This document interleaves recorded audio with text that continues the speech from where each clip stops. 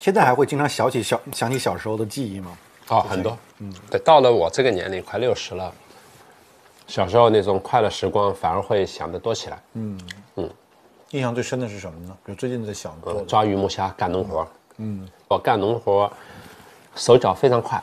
从小我母亲对我要求就是手脚慢了就要挨打的。嗯嗯，真的是十几岁吧，我们村上，包括整个公社啊，公社应该插秧速度比我快的就几乎没有了。家务活也干得很好，我七八岁开始就在家里，父母出去下地干活，我就开始做饭。所以现在我在家里，嗯这些饭菜对我来说做出来轻而易举。很简单的是吗？那你后来想过，万万一当时最后一年没考上大学怎么办呢？就农农农民企业家，绝对的。我现在我的小学、中学同学，嗯，有七八个农民企业家，当然他们都没有做成上市公司，嗯，但是也不错，嗯。江一人天生就有点会做生意，嗯。当时我上大学以后，我们就开，我妈就开始开那个叫做锡钢片厂，拿那个边角料的锡钢片，边锡钢片不做变压器嘛，嗯。我妈就是那个家庭小工厂的带头人，嗯，她就跑到那个各个大型的锡钢片厂，把他们的边角料买下来，呃那个很抢手的，哇，好厉害你妈！特别抢手。我妈就一去就会坐在厂长家里一坐坐两天，弄得厂长最后不好意思就把边角料给他，用手扶拖拉机一开一二百公里到那个苏北的那个大工厂去，嗯，拉回来自己做做做，居然做成了农村第一个万元户。所以妈妈是对你的这个影响是非常的。啊，比较大。但我上大学也是因为我妈妈。嗯嗯。老太太，老太太呢，就是当然首上大学首先是自己我想我想学。嗯。第一年、第二年没考上，到第三年考的时候，啊、我就跟我妈说我还要考第三年，老太太也没反对。我们县的第一中学办了个补习班，没有任何门路。老太太在对城里一抹黑的情况之下，嗯，一个人跑到城里三天，居然就帮我放进那个补习班去了。嗯我觉得你妈好好真的好厉害呀、嗯，好厉害。老太太就在就在现在就在这儿呢，嗯，在楼下呢。老年痴呆了，连我都不认识了。在八岁五八十五岁以前，我老大依然超级精明。嗯，八十五岁的时候还能把家里的所有的事情记得清清楚楚。嗯，后来到八十六岁，脑子就开始衰退了，就一年时间，嗯，就不脑子就乱了，天天骂人。一年以后，突然就安静了，就变成了一个无知无觉的老年人。像现在已经已经有四年过去了。我母亲的老年痴呆也给我带来了一个警示，八十五岁开始老年痴呆，那这是有遗传性的这个毛病。那我想，如果我也到八十五岁开始老年痴呆，假如说，那我也就是二十多年的时光，二十多年就是一瞬间。嗯那我这个二十年我应该怎么过？对我来说就是变成了一个思考的重点，哪些该放弃，嗯，该果断的放弃，哪些不能放弃。无聊的社交，我现在就放弃了很多了，已经不合算了。那种虚荣心的事情，这种东西肯定对我来说也也也也也也不是我思考的范围的了。那什么东西更确认是一定要做的？呃，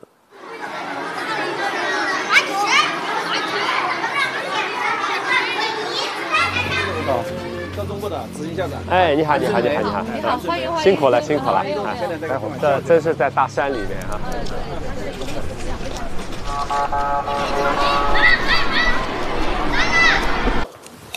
九零年以前的书，百分之九十都捐给原来新东方的图书馆嗯去了啊。这是后来的一些书，像这些书都八十年代，对，嗯嗯嗯，是吧？你应该还记得。刘在但是刘在福多多受欢迎。嗯嗯，对，这就有点乱。嗯商务这套，商务这一套原来有一套旧的，对后来商务完整的送了我一套新的。就这个嘛，啊，就是谢冕的。谢冕老师跟我比较熟，因为当时就是他在中文系北大最有名的当时教那个朦胧诗的时候，对对对，我成立了一个北大诗社，当时。嗯，北大就是就是说大学生诗刊是我是我编的，是八几年的，八。八四年左右收集全国的最好的诗歌印，印了以后再寄到全国各地去，但弄两三期就没钱了，就关掉了。但是我们当时更加喜欢的就互相交流的，嗯，是西川是我大学同学嘛，嗯，对，那孩子什么的，嗯我也发表了大概有二三各个媒体报刊什么的，也发表了二三十首诗歌，第一首是是什么？呃，已经完全不记得写的啥了，应该找找发到哪儿了？发在诗歌报上。啊，那还挺厉害的。嗯，当时写一首诗是不是能发表是不是？特别拉风的一件事情属。于超超级可以吸引女孩的事情。但是我属于，嗯，完了不入流的。后来到大学毕业了，就就不写了。你说怎么的？前两天我在收拾书房的时候，嗯啊啊，呃，你看当时还有，嗯，这个是戴望舒的诗，戴望舒突然发现自己写他的诗，自己还会在下面续哦。哦，生命在无望的悲哀中、悲思中吧消逝，嗯消逝自由的百合却开出鲜艳的花朵。不要做梦，不要做梦，会梦想的人永远没有真实。当你吞咽寂寞泪珠时，爱情已跌落无底的深渊。写挺好的啊，屁呀、不要做梦，不要做梦。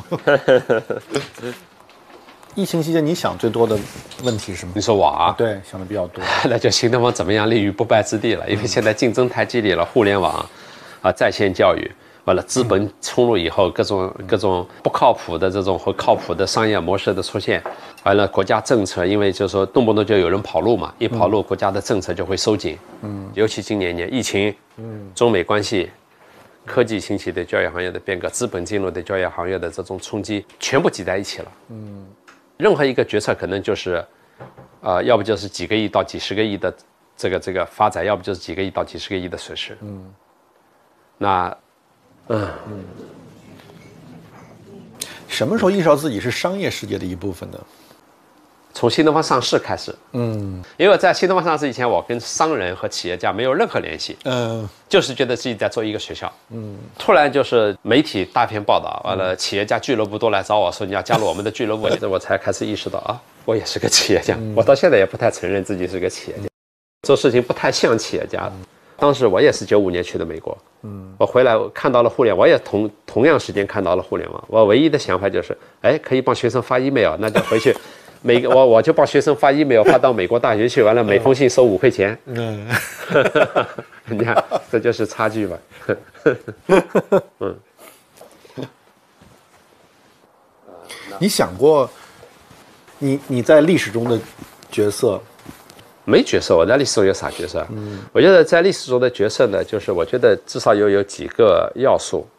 第一要素呢，你你做出了改变历史方向的事情，战中间的英雄伟人，呃呃，当然更加厉害的就是改变人们的信仰，释迦牟尼是吧？耶稣之类的是吧？再一个呢，就是说你你是，呃，你是创造了某种思想体系，给人带来了就是说这个某个阶段的社会的思想变革，卢梭、伏尔泰、康德这些人都应该算，嗯，包括尼采都应该算。就是呃，那我们就是我后来想了想，我啥啥都不是。你，说的这都太大了，他们全是就是全人类就没没太多。对。但是你但是比如说你确实是在中国和世界的交流之中起到一个非扮演了一个很有很有非常也重要也有意思的角角色。其实没有，我自己也想过，就是假如说没有我，九十年代的中国留学照样会兴起，我只是起到了一个催化的作用，就是说推动这个兴起比较钱的到来，并且呢推动了更多的人到国外去读书。为什么呢？因为当时新东方的这个励志加上那种狂热，点燃了很多本来并没有想点燃的火花。但是坦率的说，没有我，中国留学照样会兴起。到今天为止，一点都不会呃少太多这样的人。呃，那现在做的这个这种培训教育，帮到学生提高英语水平啊、数学水平啊，什么高考成绩高一点，我觉得其实更加是我不做，别人也在做。呃，有有有有有有很多竞争机构跟我做着同样的事情，我并没有做的事情就就独特。有的时候我在想，我也就当时如果就留在北大做学问了，现在其实生活会更简单、更安宁，读读书是吧？在北大散散步，完了几个学生跟他们聊聊天是吧？其实就说我要去做访问学者呢，我比王石更加有优势，嗯，是吧？对，对，我的我的语至少言不用学重新学语对，言。同学们 学王石在哈佛大学学语言学了个半死不活。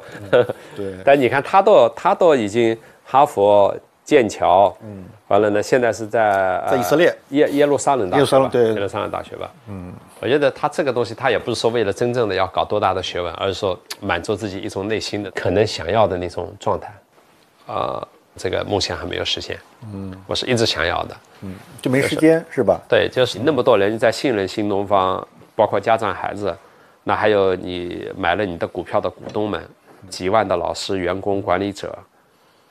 那你会对此遗憾吗？你觉得好像我其实本来希望自己成为斯坦福那样的人，嗯，对，弄一块地，造一个大学，把一辈子的钱就弄进去，最后变成一个呃中国顶级名牌大学。我曾经有过这个念头和想法，但这个念头和想法现在已经没有了。嗯，我觉得我可能没有这样的能力，也没有这样的环境，让让你能能把你把这件事情做成。但是我确实是有某种教育理想。嗯。嗯。但是也没没想清楚的，因为我我我现在，哎呀，也被现实生活和工作弄得焦头烂额的。嗯。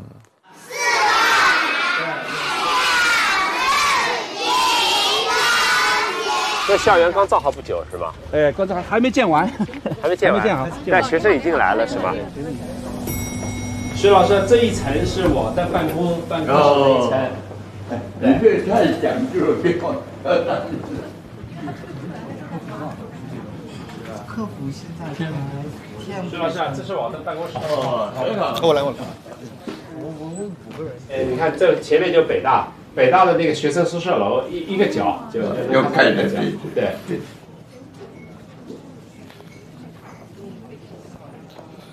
你这么爱北大，被北大驱逐那一天是不是非常的？其实也北大也没有驱逐啊，就是呃，我八五年留在北大，八六八七年到八八年，我一直很悠闲的过着读书的，教教学生，反正学生爱来上课不来上课都跟我没啥关系。这样北大的风格不就这样？嗯。突然发现周围的同学朋友都开始出国了。第一个 offer 是谁？是哪是哪个？第一个 offer 是呃 Ohio State University，他给了我两万美元的啊、那个就是奖学金，就说就剩下一万就得你自己想办法了。嗯，我还真是到处借钱，呃根本就借不到，谁借我那么多钱啊？那一钱必是英雄汉，反正他现在也不给我发全额奖学金，那我就干脆啊、自己去赚这个钱呗。嗯。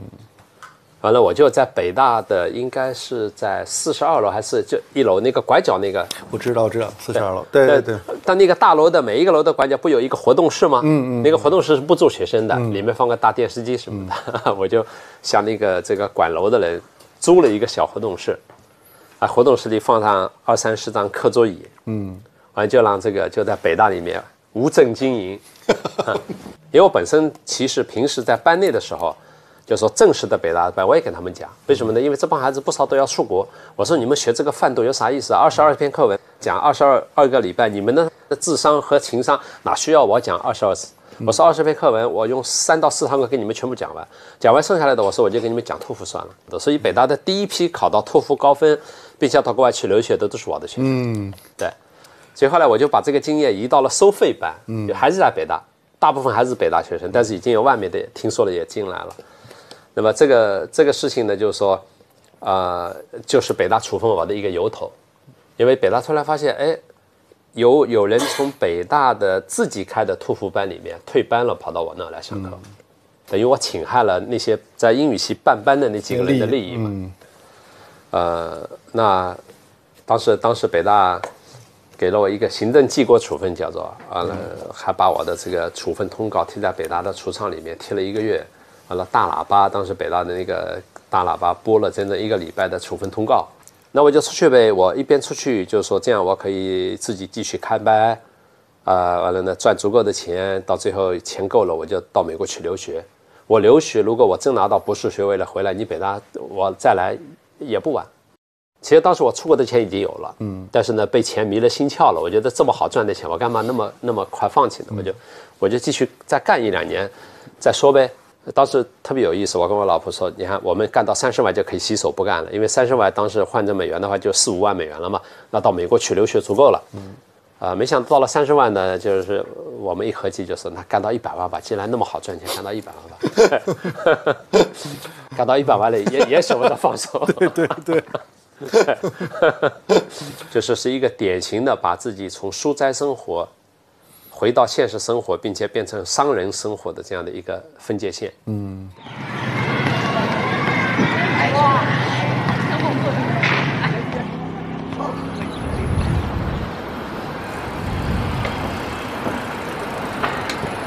我们可以往里走两步吧。可以啊，当年这里面的荷尔蒙弥漫啊，这么多年轻人是吧？哇，这个好像又在做什么东西。嗯，所以你们办公室是两边是吧？当时呃，当时应该是从这儿，你看从这个门进去的，嗯，现在就变成了工人住的。上面上面能进去吗？可以可以，打开了可以进。对啊，连这个灯都没放。原来我们在的时候给他赚了不少钱呢。嗯，现在彻底没了。还能看到，这是哎，可以可以了，好像哎应该看不到。被封起来了。对，封起来。下去吧，这个地方已经弄成这样了。哎呀，嗯可惜可惜。哇，对，从这个礼堂至少走出去了一两万啊，中国的留学生到美国的名牌高校去读书，就在这儿办公，晚上就在礼堂的一千多人、接近两千人的座位里面给给所有的学生上课。最厉害的时候，大概能上到十二个小时的课。哇，就北大北大 北大这个这个这个一个月的课量，我大概两天就能上完。嗯，是不是世界范围里的英语学习没有像中国像新东方这种方式的？全世界范围里面呃，有有相似的？至少当初是没有的。嗯啊、因为呃，当时我九一年出来以后呢，我用的第一批老师全是北大的我的同事，因为我想英文水平好，是吧？也也也不需要培训。但是后来其实过了半年不到，这批同事就全部被学生给赶走了。嗯不是这些老师的英语水平不行，嗯，而是他们就是不能符合学生的本身的就是学习需求，嗯，因为这些学生来呢，就希望以最快最短的时间能考出最好的分数，也就是说，本质上来说，他们来不是为了真正的提高英语水平，对。他们都是为了提高考试水平。嗯。哇，刚才我觉得在礼堂也有点像当年那种十九世纪中叶旧金山那种感觉，当年那个 Go Rush，然后你是给 当时做基础服务的。对，有点那个感觉。啊，一种那种历史的特定语境不可复制了。不可复制了。嗯，自己有意无意的参与了一个历史时期，是这样的。对。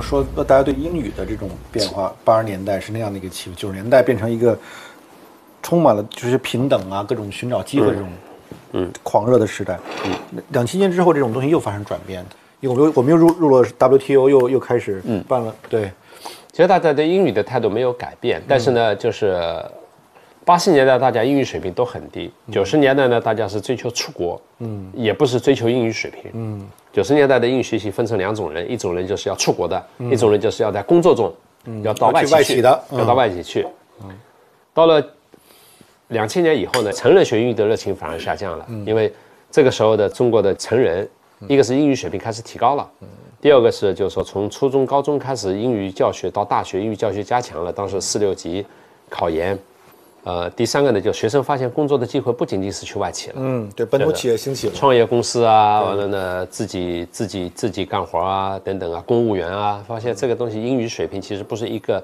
真正的强制的刚性需求，英语就变成了一个滑向青少年的这样的一个市场。就是说，青少年的英语培训是从二零零零年开始就是猛然兴起的。嗯，很多家长突然意识到了，我的孩子未来是要出国，或者说我的孩子未来考大学的话，我的孩子英语必须要好。像北京、上海就从一年级就开始了。嗯，就这个变化特别明显。嗯嗯。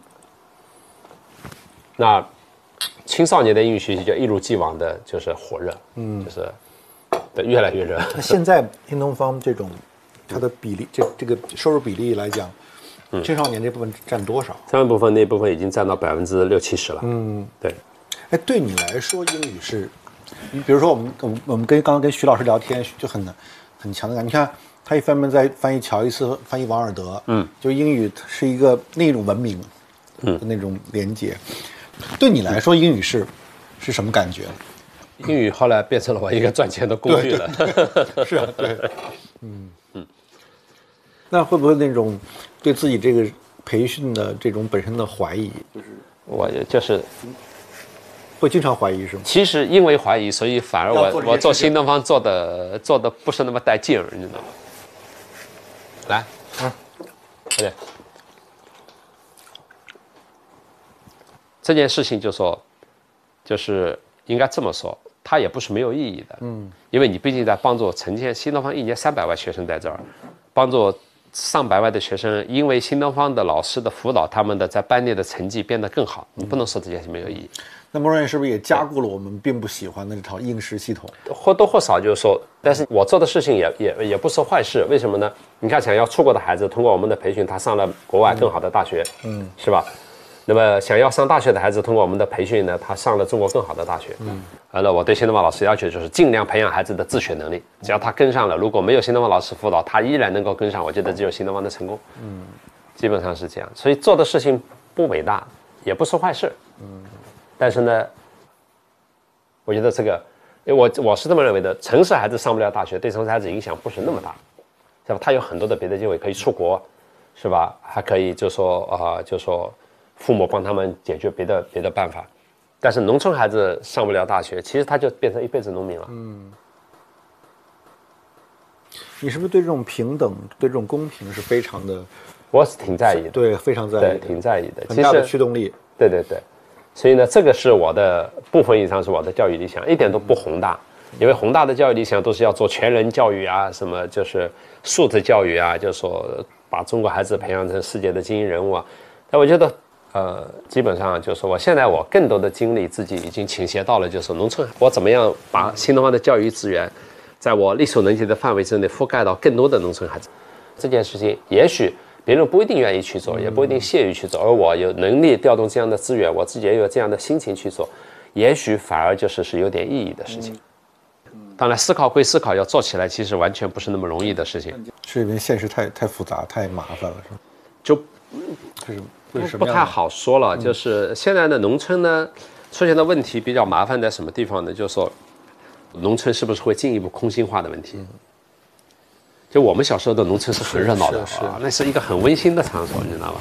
农忙的时候的热闹，农忙以后的庆祝，过节的时候的互相亲戚走来走去，小朋友在打谷场上打打闹闹。就你你现在在农村地区已经看不到一个像我们小时候那样的那种兴旺的农村景象了。嗯，所以呢，你就会发现大量的农村小学，国家造了很好的校舍，当时造的校舍一般能容纳三百人到五百人，一个一个大的村小嘛。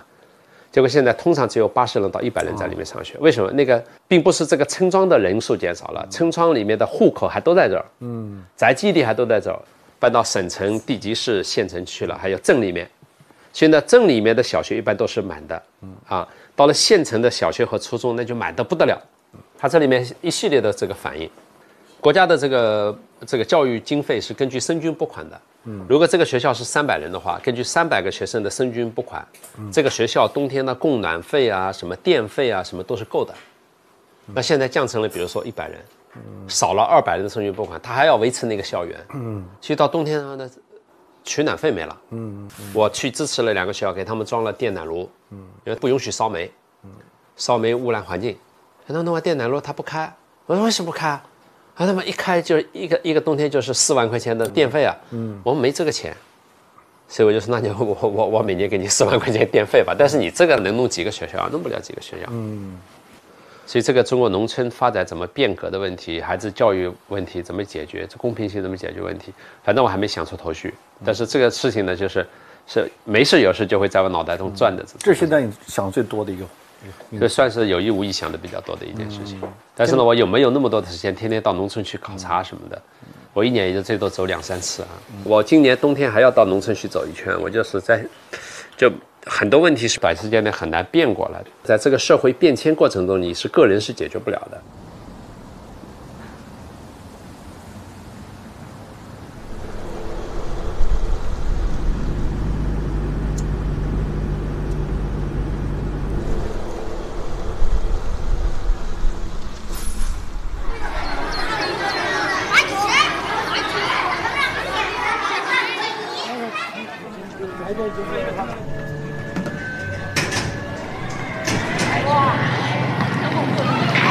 时间到了，请迅速回到教室，准备上课。啊，石太耀已经到这来了。石老师在那儿。哎，人呢？嗯，这是我们高中部的执行校长。哎，你好，你好，你好，你好。你好，欢迎欢迎。辛苦了，辛苦了。现在在这真是在大山里面啊。这校园刚造好不久是吧？哎，刚才还没建完，还没建完，还没建好但学生已经来了是吧？学生小学、初中的孩子绝大部分就是这里异地出生搬迁的孩子。啊，然后他们的父母呢，反正就是在在城里工作，或者说是很多都在外地打工的。外地打工。好，国家现在其实是在做迁移计划的，老百姓就全部搬到了自超县城里面，给他们安置，也给他们找工作。完了，所有的孩子呢，就这个县城呢，他就会造一个专门这些安置过来的孩子们的中小学。但这个呢，就说父母不在身边，有孩子的照顾问题、心理问题。我就现在就是有上百所农村高中孩子在跟着新东方学习，新东方有一千多个老师，每个人带一到两个农村孩子，通过现在互联网手段，哦，这真好。我们面对高考，肯定是考到的大学越好越好，因为好大学带来的它的资源比较丰富，有那么多人做成了那么多的事情，那为什么我做不成呢？一定要有机会从大山里面走到中国，也一定要有努力，从中国还要走向世界，啊，再从世界走回来。在新东方有一句话叫做“让学生走向世界，把世界带回中国”，有没有信心？对，有这是最重要的那你们就去忙你们的了。对，我们要去去访谈。对。这里面是吗？哎，这挺好的。对，cosine 我已经早就忘了，这太难了。这已经很难了哈。，对，你还能写出来吗？写不出来了，不会了。就这个还大概还记得。这个稍微简单一点对。我从来没有进入过任何数据思维和抽象思维，所以我看到任何数据思维和抽象思维，我都是我都是晕的。我就不能老老跟一一堆人在一起，就就我也不行对你也不行我也不行。但我觉得你看着还挺行的呀。对，面对这些农村孩子，我会很自然的就会产生一种，就说给他们鼓励的鼓舞他们对，嗯鼓励鼓励他们的一种亢奋状态。过去这些年你做这种，就是你希望帮助这些更边缘边缘的或者落后地区的学生提高升学率嘛？嗯，就这个努力在当时最初这个想法是怎么怎么开始的？因为我觉得这是他们改变自己命运的唯一的机会。嗯，某种意义上啊，我觉得一个农民的孩子，如果说能上上正规大学的话，对他来说扩大他的视野也好，扩大他对这个世界的理解以及人脉关系也好，以及他的自我认知也好，一定是有大大的好处。我相信进了大学，整体来说命运总会变得更好，因为人的想法是被观念改变的。那能够改变人观念的最最最好的地方就是大学。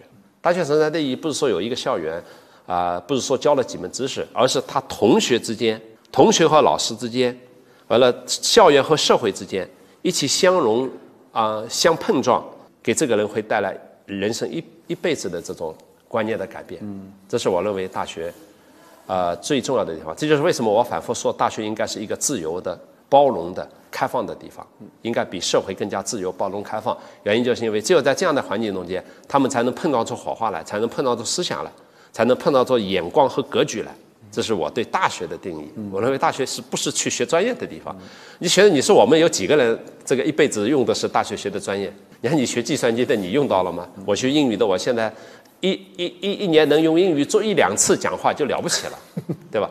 他都不是在大学激荡碰撞出来的思想眼界，呃，对人生的不满和对世界的不满，完了最后希望改变自己和改变世界的那种一种心态。嗯，这个东西是你在农村学不到的，他不上大学学不到，你在工厂打工学不到的。那么他既然有这样的好处，我我我能做的唯一的就是帮他上大学呗，因为这里面的鸿沟是无情的，表面上是打通的。比如说表面上打通，比如说中国的高考，所有的孩子只要上到高中都能去考，不管你农村孩子城市孩子，最后分数是一样的，所以表面上打通的。但是呢，实际上它出现的问题是什么呢？比如说城市的孩子，他从小可能就是在最好的幼儿园、最好的小学、最好的初中、最好的高中上学，他很自然的这条路对他来说是一个没有障碍的道路。但农村孩子来说，小时候有的农村孩子幼儿园都没有，从小在那个村小上学，完了又到到镇里的初中上学，镇里的初中他他连到县城最好的高中他都去不了，以至于高考中间或者是中考中间出现的题目，对农村孩子来说，比如说你出一个有关高铁的题目，是吧？有关有关伊隆马斯克这个火箭上天回收的题目，